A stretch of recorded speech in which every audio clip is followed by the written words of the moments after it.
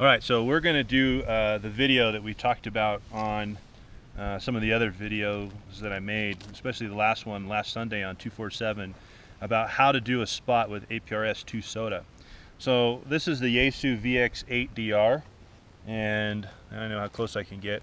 I'm going to show you how to do it. Take note that the bottom band on this VX8DR, this is the, the radio that I'm specifically talking about, shows the APRS frequency of 144.390 on this radio, you have to do this on the B band. So the first thing you have to make sure is that the APRS stuff is activated, which you can find in your manual. I'm not going to go into activating uh, APRS and how to do the tracking and everything else. That's stuff that's uh, maybe I'll do on a subsequent video if you guys want me to. This is going to be one on how you actually do a spot for summits on the air, which I think is a little more applicable to what we're doing today. So when you're in uh, the B band, it shows that uh, frequency, if you just tap the menu, make sure I'm hitting it, you see the first thing that comes up is the uh, the coordinates and that little arrow. That little arrow tells you that you have a position and that's because on top of this mic here is this GPS antenna. Without this GPS antenna, you're not connecting to the satellites and you're not able to put out an accurate location where you're at. So right now I'm pinging a beacon once every three minutes, just a setting that I put in there. And it's just telling everybody that I'm on this beacon, but it's not telling any of the summit activators that I'm on this peak and I'm ready to activate. So to do that, uh, I'm going to send it to the SOTA website, and that's where APRS2 SOTA comes in. Careful the wire. So once you're on this side, if you push menu again, menu toggles between all of those, you see the station list come up. Now with the station list up, uh, one thing that that tells me is if I'm receiving station signals, then in theory I should be able to also connect to one uh, as well. So I'm receiving numerous station signals. In fact, if this thing holds the last 50. I've got 50 out of 50, so that means they're coming in on top of each other at their rate. So uh, plenty of stations in the area I'm picking up, especially in Southern California. There's repeaters in the area. I've got the high desert uh, just below me off to the north, uh, Inland Empire. I've got LA County. I was able to just to talk to Bellflower with five watts. So I know that I can actually hit a digit digipeater and put my signal out. So the next one that comes up when you push menu again, see if you guys can see that right there. Uh, that is the APRS message screen. That is where you will transmit and receive from. So the way you put out a message on uh, the APRS screen is you will hit the home RV uh, button down here, which is uh, right next to the button number four, HMRV. Push that and you notice it comes up, edit in two. And then you have your little message screen right below it and you're just gonna type in it using the alpha numeric keypad. So to go to SOTA, one of the things that I, I had forgotten, I was a little rusty on uh, last Sunday was to SOTA, it's Sierra Oscar Tango Alpha. At one point in time, I was trying Sierra Zero Tango Alpha because on my notes that I had, I didn't differentiate which one was which. I actually did. I didn't put the line through it to make it a zero, but I had totally forgot, and I was trying it both ways until I figured it out. So I'm going to just basically use my keypad, and I'm going to type in SOTA.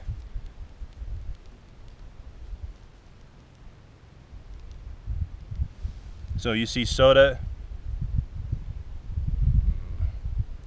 is in that top part.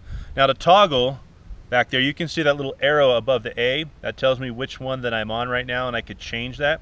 To arrow past that, just push mode and you'll see when you push mode that arrow moves. Hopefully you see that. And it should move enough times after about three. Now, now this you probably will not see, but oh, there's a bunch of dots right down here in your message box. That first dot is actually blinking and that's now telling you that's where you're at in your message. So now all I got to put out is the, uh, the actual summit peak that I'm on, which this particular case, I'm going to use the alphanumeric key again. It's Whiskey 6. Doesn't matter if it's lowercase or uppercase. Nobody really cares. Uh, whiskey 6. And then if you hit 0, you get, uh, it's easier to scroll through and you get the slash marks. Uh, whiskey 6, stroke, once I find the right stroke. Let's see here. Whiskey 6 stroke. Let's go this way. I think it's on the other side. There's a forward slash and a backslash. I don't know which one's forward or backward. I just know which way it points. It points uh, the other way. So I'm just rotating the dial and it scrolls, scrolls through all the lowercase, all the uppercase, scrolls through everything. and I probably passed it and didn't realize it, so I'm slowing down a little bit. There we go. Stroke. Now, because it's on that and I use the dial, you'll have to use mode to advance to the next spot. Now, once it's on the next spot, now I can hit the alphanumeric key. Now I got Charlie. I can go back down here and hit Tango.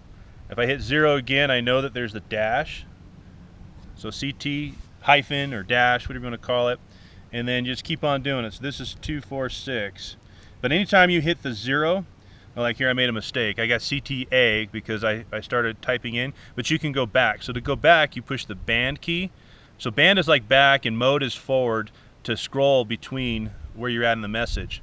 So now I'm back on A. I'm gonna hit zero again. I'm gonna go to the dash. Once I find it. And we are almost there. Probably be the last character that I find because that's just my luck. There we go. Dash, mode, and then two. This is four six. Four six. Now, to do it so, I got Whiskey Tango stroke CT-246, the numerics for this particular summit. So now what I would need to do is I hit, uh, I hit the zero key, and then I just rotate back one. Actually, I hit the zero key twice. When you hit the zero key twice, that'll create a space.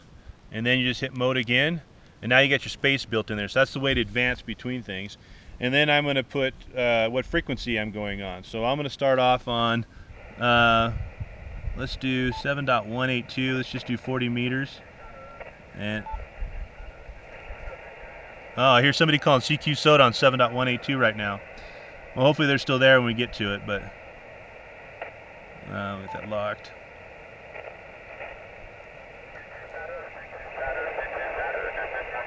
So we're going to move off of that so I'm going to try to find a blank frequency first. It looks like 7.190 is clear right now. Is that blowing that out? I don't think so. Okay. So 7.190 is the frequency I want to start on. So now I just type in my 7.190.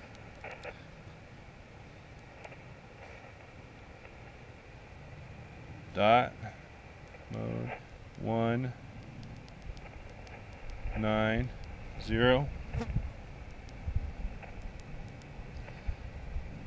And then I need to put in here because some people do Morse code, of course, and sideband. I'm a sidebander. I don't do code. I've done it to pass my general. I am a slow code general. Uh, so then I'm just going to put SSB. And it's just kind of the way I was telling you about how you scroll through. S, A, B, 0 to make my space. Uh, and then, so I've got Whiskey 6 stroke 246, CT246, space 7.190, space SSB for single sideband. Uh, and then I'm just going to put uh, on now or calling CQ or whatever other message I want. I like to just put something short and sweet, just on now. Uh, and that way I don't have to worry about it. On. The other thing too is if you're using the alphanumerics, and like say six, to do on, the six button is MNO, obviously ON, you'd have to push it twice. Once you get to your O, you're gonna have to hit mode to advance. You can't just keep toggling. So just keep that in mind, that's how you're gonna toggle. And then same thing for now, I gotta do it again because NOW. O and then W. So now we're on now. Now, oh, that's all we have. Now to, to send this signal out, there's this TXPO key, the little star thing on the very bottom left uh, just next to the number seven. Let's see if I get that close enough. This little key right there. So once I hit that, you see that that thing made a signal. I could hear it. It transmitted it. I heard the sound. You guys probably didn't. Now it says TX4 SOTA. The VX8 will automatically send it out five times. It just sent it out once, and the four means it'll automatically send it out four more times in one minute intervals uh, until it gets a good signal. Once it gets a good signal, the APRS2 SOTA will actually respond back to my radio and it will tell me. So I don't have to do this multiple times. I now can just set this thing down for a little bit and wait. And once it gets the confirmation that the spot went through, what'll happen is I've got it set up where my little LED light on the front of this will flash, and there's also an alarm you can set to, and it'll make a sound telling you, hey, uh, you got a message. Anytime you get a message, whether it be from my wife using uh, Open APRS app on her phone, so I can she can see where I'm at, and I can send her messages, especially when I'm deep in the Sierras. That works really good. Um, but as soon as that message goes all the way through and hits and comes back, it'll give me a confirmation. And I just turn up the volume on 7.190, and I wait. Okay, so it just sent a second message because it, uh, it's been a minute already, and it says TX3 SOTA now on there. I'll actually show that to you. TX3 SOTA. So it's tracking away. If you feel you need to, like it's sitting on the ground, you can always take and hold this thing up above your head. And uh, when you think the signal's getting ready to go out, or just kind of stand up with it a little bit, give a little more elevation off of the ground, it can help. Of course, I'm just running a little uh, SMA 17 inch small whip antenna on this thing. Hasn't let me down yet.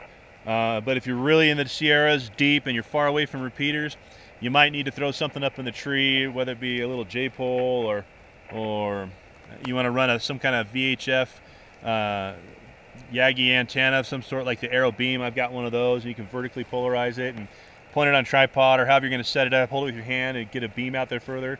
Ideally, you would know which way to, to point it, though. Uh, so now it's just a waiting game. Now all we do is we wait for that signal to go through. It just sent out another signal. I just saw it go.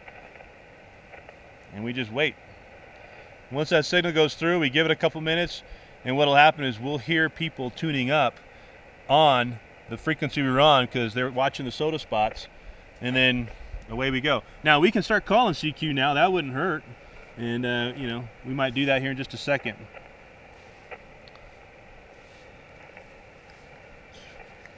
So now I need to turn the Vox on. So we're gonna wait just a minute. When the flash comes through, I will show you that. Sounds like the sounds like the spot's gone out because somebody's tuning up on the frequency. Kilo Golf 6 Hotel Quebec Delta KG6 HQD calling CQ CQ CQ for Summits on the Air. Summits on the Air Kilo Golf 6 Hotel Quebec Delta calling CQ and listening. Foxtrot, Foxtrot.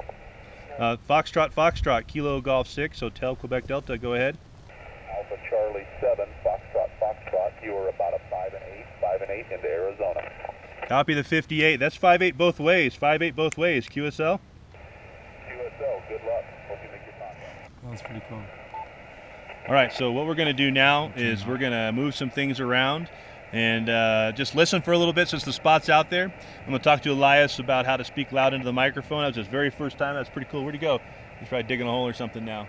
Um, but he's doing the, the voice activated, and for the first time on the radio doing voice activated, can be a little tough because I didn't explain to him how it worked at first. So we're going to do that. But you can see the spot went out, and that was the purpose of the video. Um, and you know what? I didn't even get a respond message back, but at least the message went out. And that's all I care about. So pretty cool that the, uh, uh, you know, you can hear him tune up. It worked just as it's supposed to. Uh, park it on there, you wait, and you start calling. So uh, we will we will move things around and probably go to 20 meters next.